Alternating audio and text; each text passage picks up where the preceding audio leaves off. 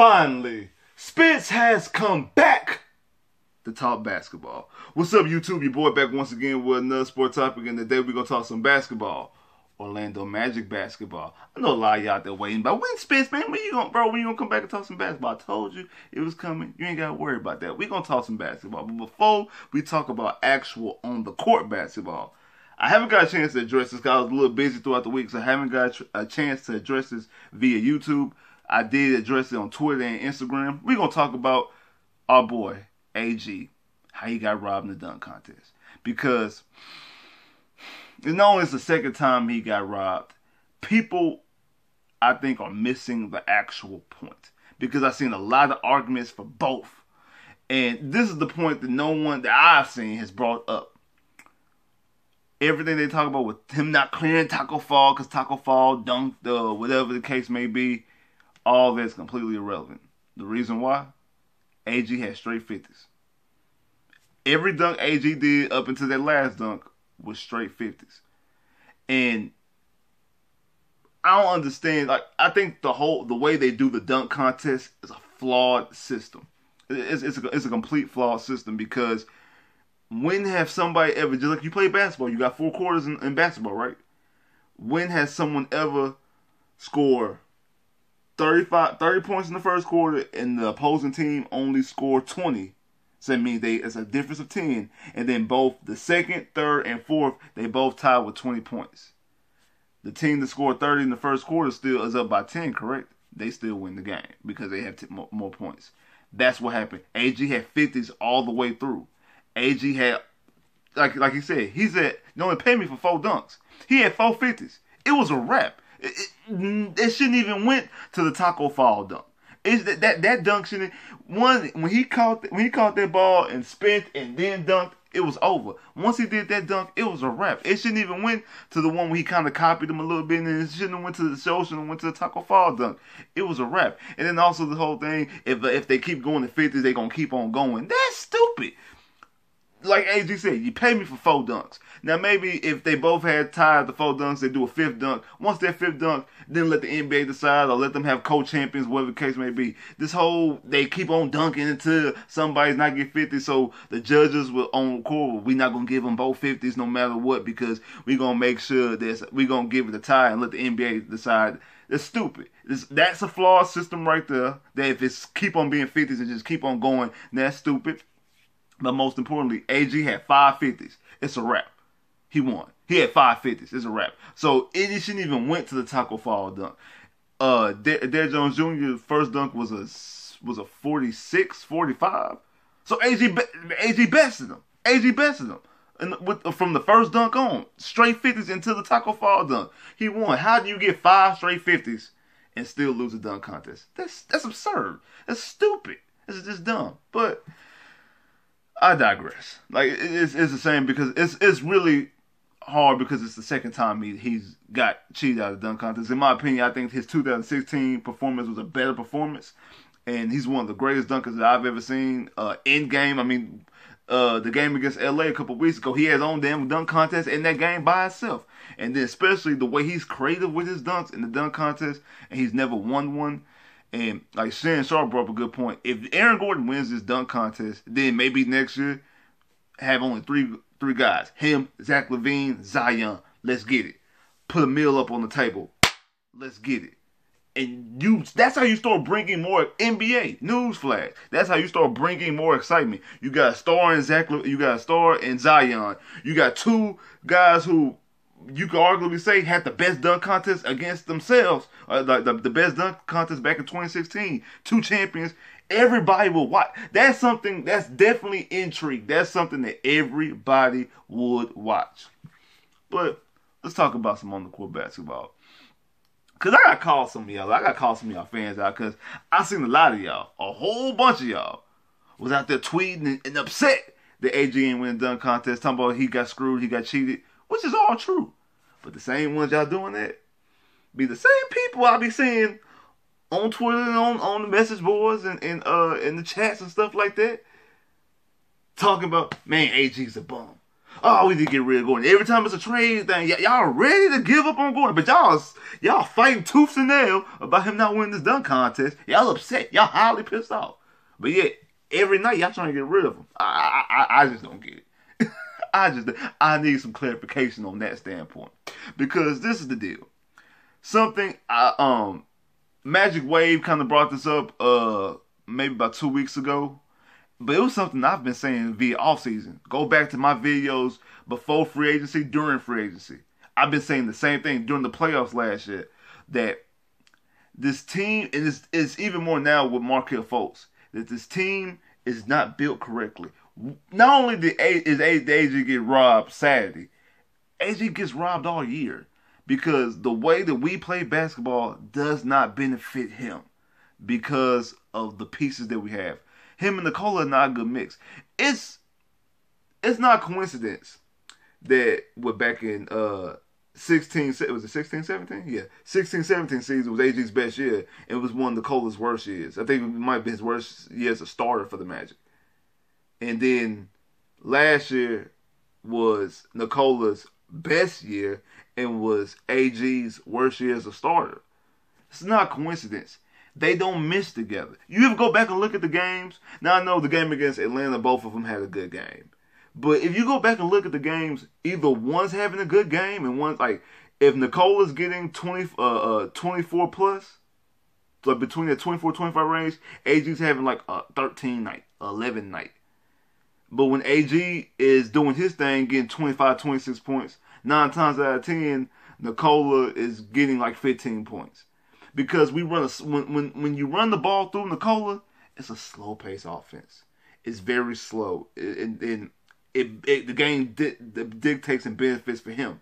That's cool, but when you got AG and now Markelle Fultz, and when they're trying to run a fast pace up and down the court in transition, uh, um, um, Markelle slashing and then AG cuts, that benefits their type of style. That benefits their game. That's the reason why they look better. They look crisper. That's why then once AG start getting those dunks in, that's when AG starts knocking down shots like he did against uh um what was our last game? Detroit. When he knocked down those two critical threes to tie the game. I think he hit the three to take the lead. Now I know Nikola makes some shots too, but AG gets in that rhythm once he starts knocking down them dunks and getting them dunks and start smashing over the boards. You the game is benefited for him if they run fast paced offense. And that doesn't benefit Nikola. And to be honest, in today's NBA, you don't win look at the Rockets. You don't win championships with bigs being your best player.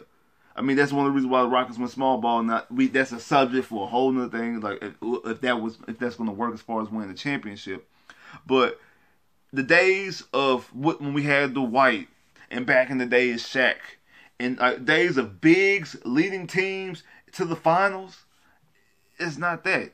I mean, you got Giannis and you got uh, maybe Embiid as some dominant bigs, but they're beastly. They're beasts.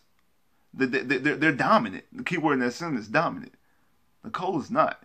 And then, like I said in the playoffs, he didn't show up against Toronto.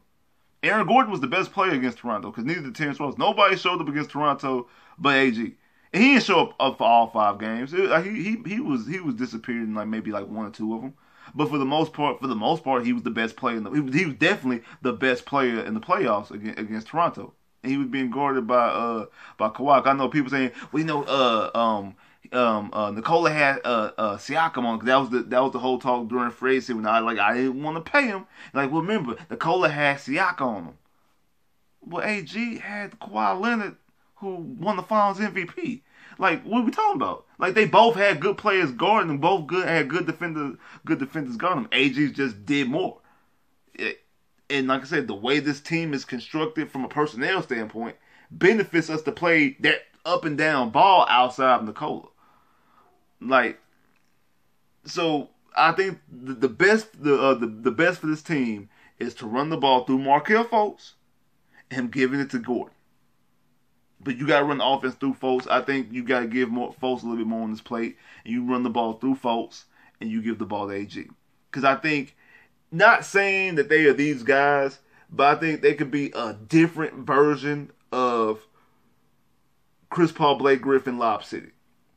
of course, like um, Fultz is not the facilitator, not the shooter, and at this point, not the defender that Chris Paul is. And probably Blake Griffin at, at his peak is a little bit more athletic than Aaron Gordon. He's a better shooter than Aaron Gordon. And now Aaron Gordon wants to be uh, known as a shooter, about he wants to enter the three point contest.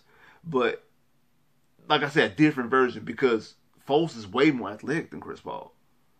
I mean, because it was a shock when Chris Paul dunked an All Star game the other night. But I think they could be a more athletic version, and then once, especially when uh, um, Jonathan Isaac comes back, I like the makeup of that team. They still gotta get some shooting. They still gotta get some some elite scoring. I know people talking about bringing in Kelly Oubre, and I don't know how you're gonna get that done uh, because you can't move Nikola to Phoenix. Now maybe if you get a third team involved, they would take Nikola and they give up something that the Phoenix would like, and then you give up some picks to able to uh to get um Kelly Oubre maybe, but I don't see a way because you you're not you're not gonna give Nikola to to Phoenix because Phoenix is not gonna want Nikola because they got DeAndre Ayton, and to be honest, uh, if I'm not mistaken, I think that uh uh um Fournier has a player option, and I'd be surprised if he opts in because he knows more than likely if he opts in that more likely he's going to get traded. Uh, now he his play option is worth 17 million. So if he thinks he can't get 17 million open market, like if I opt in, that's just a basically free lottery ticket to guarantee myself 17 million dollars, maybe. But he know more than likely if he cashes in that lottery ticket to get that 17 million, that by February of next year he'll be playing in a different team and he has no control of where he's going because he can get traded because only he has definitely doesn't have no trade clause and nothing like that. So he'll end up playing somewhere else that he has no idea. He could be in Phoenix, he can be in Washington, he can be in Seattle. I mean not Seattle, um, Milwaukee. He could be in Toronto. He can be in San Antonio. He he he don't know where he could be. He could be a number of places um, because he has no control over that. So I think that he'll be weary about cashing in that lottery ticket and opting back into his contract, but that's a bargaining chip for the for the Magic. But if he doesn't opt in, there's a player that you no longer have to to to facilitate the trade. So then, what assets do you now have to acquire somebody like a Kelly Oubre or Bradley Beal or DeMar DeRozan? I'm not really sold on getting DeMar DeRozan I mean, I know the West and the, and the East is two different animals, and he probably would look better in the Magic uniform, and he probably would help the Magic more than he's helping Toronto. But I'm looking, I mean, uh, helping uh, um, San Antonio. But I'm just looking like, uh, if you put him over here, I don't really see that much improvement from what what the Spurs is doing. But I just think that the way this team is ran, and I gotta put a lot of some of this on, on Steve Clifford because I I watch some of these games and I'm looking at Steve Clifford like, what are you doing? Like, what kind of rotation is this? Like, what is you doing? And he's put himself in the, he backed himself into a bad corner because a year ago you were the seventh seed, you won your division, and the seventh seed in the playoffs, and you won a play, you won one playoff game, but uh, you lost the series in five. You're guaranteed this year not to win your division because the uh, the Heat are fourth or thir- third or fourth in the East, if I'm not mistaken. One of the two. So you're not going to win the division. So you're going to either be the seventh seed or the eighth seed. And you might even back in with a losing record because last year you were 42 and 40. Now you're talking about you might back in at, at like under 500 and be an eighth seed and get swept. Or be a seventh seed again, but a worse seventh seed than you were previously. So you really back yourself into a corner that your season's not going to be as good as it was last year. So now, I'm not saying this season, but I'm saying possibly next year he's going to definitely be on the hot seat, in my opinion. Unless something happens, like they get the seventh seed and they win a play and they win the series, like they they shock the they shock the series, win the series, then you cooking with grease. But until something like that happens, and I know some moves got to be made. Like you you have to you. And I know we were kind of kind of quiet on the trade deadline. We picked up somebody, but we didn't do the moves that people thought that we were going to do. Like people, we didn't do the moves that people wanted us to move. But the moves that we made, uh, like the, the move we made for James, I like James. Um, for the couple games that he played, I, I like his intensity, uh, his hustle. He was flying around the court. Like I, I, I like that type. Of, he's one of those energy type of players. Those are one. Those are the guys on the back end on the roster that come in off the bench, that spark plug stuff up. That that, that type of hustle. Something that that uh, Michael Carter Williams did last year when we got when we picked him up uh, towards the end of the season.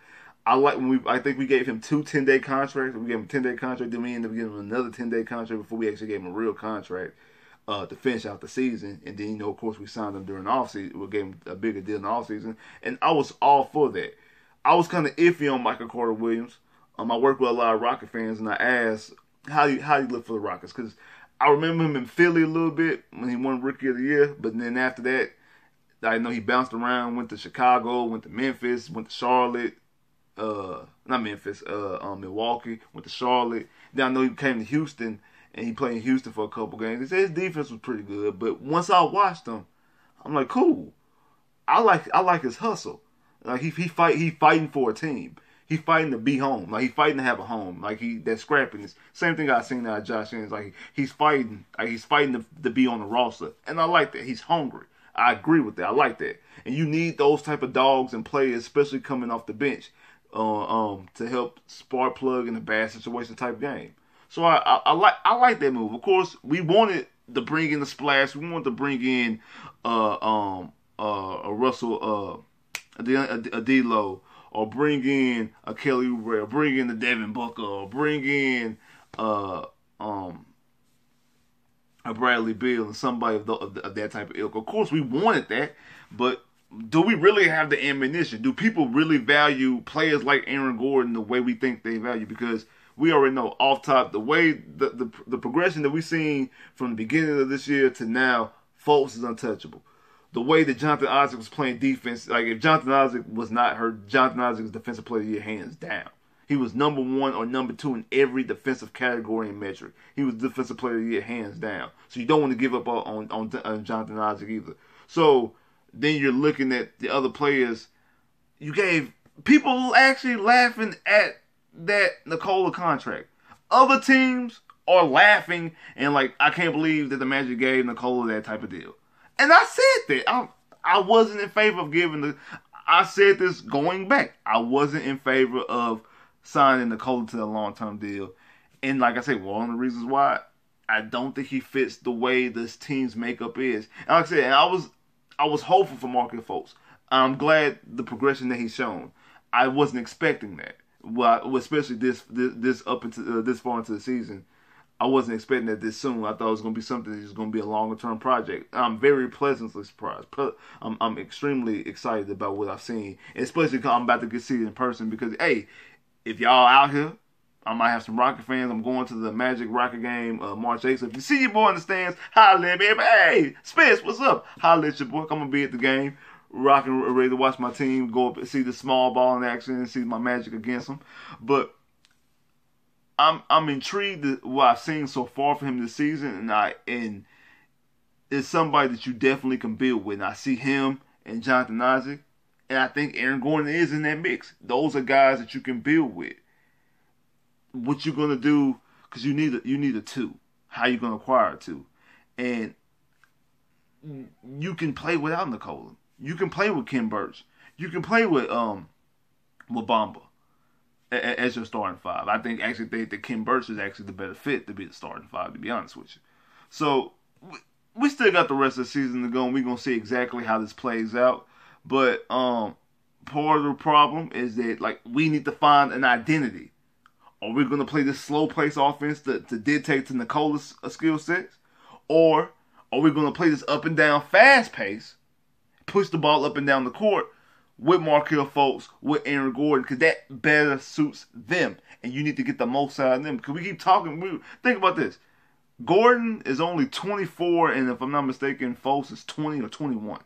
These are some young guys. They ain't their prime yet. Like they, Gordon is four years to his prime, and Markelle is six years, seven years to his prime. Like these guys, you hit your prime 26, 27, 28 29, 30. Like that's when people hit their prime. So they ain't even hit their prime yet. So we can't give up on these players this year. And I know anybody talking about giving up on Markelle Fultz. Everybody's intrigued with him. So we're gonna see what happens the rest of the season. Don't forget, like, share, subscribe if you haven't, comment below if you haven't clicked that bell to get more videos. More magic videos will be dropping soon. I holla.